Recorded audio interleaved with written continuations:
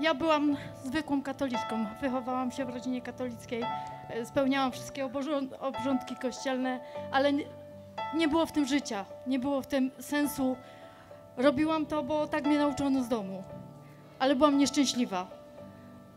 Po pierwszym małżeństwie, po trudnym rozwodzie zostawiłam dzieci, uciekłam z domu i zaczęłam szukać. Zaczęłam szukać siebie. Jestem po trzech próbach samobójczych. Nigdy nie znalazłam tego, co znalazłam w Bogu.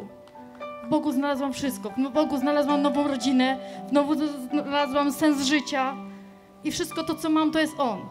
I niczego więcej dzisiaj nie pragnę. I chciałabym, żeby każdy z Was miał tak jak ja. Był szczęśliwy, miał szczęśliwą rodzinę, miał kochającą rodzinę, miał pomoc z każdej strony, w ludziach, w ludziach, którzy są wkoło mnie. To oni są moim szczęściem, tak jak mój Bóg, bo w nich widzę Boga każdego dnia. I chciałabym, żeby każdy z Was zapragnął tego wszystkiego. Dziękuję.